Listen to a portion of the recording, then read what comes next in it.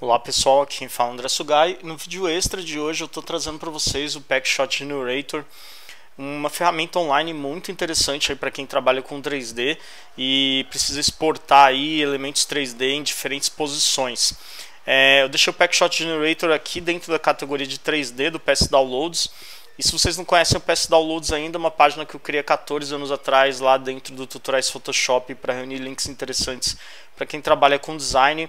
Hoje a página já conta com mais de 800 links, tem muita coisa aqui para vocês explorarem. E o Packshot Generator é um desses links, então se vocês quiserem conhecer o PS Downloads e o Packshot Generator, os links estão na descrição desse vídeo. Vou abrir aqui a página para vocês conhecerem. Assim que a gente entra, ele já dá aqui um exemplo para a gente é, do, que, do que a ferramenta online é, é capaz de fazer. Ou seja, é, você envia aqui o elemento 3D e ele faz aqui o preview é, desse elemento em três posições diferentes.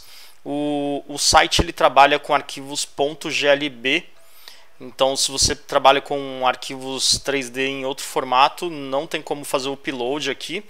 É, aqui embaixo eles dizem que você pode definir aqui um background com uma cor sólida, você pode exportar em 4K também, é, pode exportar com fundo transparente, adicionar sombra aí no seu elemento.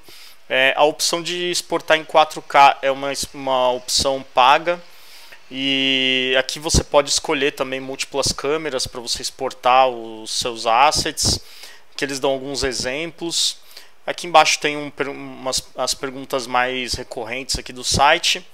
E aqui em cima a gente tem a opção de fazer o upload do, do elemento 3D. E aqui tem alguns exemplos. Se vocês não tiverem no modelo 3D, vocês podem clicar em alguns desses exemplos aqui para conseguir utilizar a ferramenta. Eu não vou fazer o preview aqui porque eu tentei é, fazer o preview é, duas ou três vezes e foi bem demorado. Demorou bastante aí para carregar o, o, o elemento 3D. É, deixe aí nos comentários dizendo se com vocês demorou também ou se foi rápido. Comigo demorou bastante. É, então eu não vou mostrar para vocês como que é o editor, mas ele é super simples de, de, se mexer. Não tem muitas opções, é super facinho.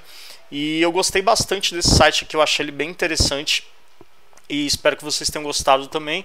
Se vocês curtiram, por favor, deixa aquele joinha, comentem aí embaixo.